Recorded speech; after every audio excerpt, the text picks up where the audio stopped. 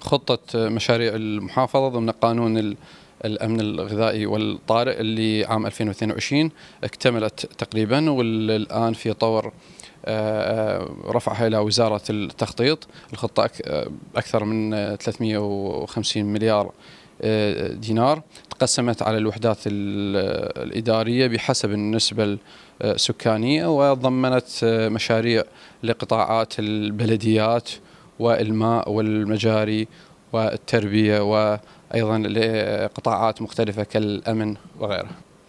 الخطة تضمنت 153 مشروع بكلفة حوالي 345 مليار دينار.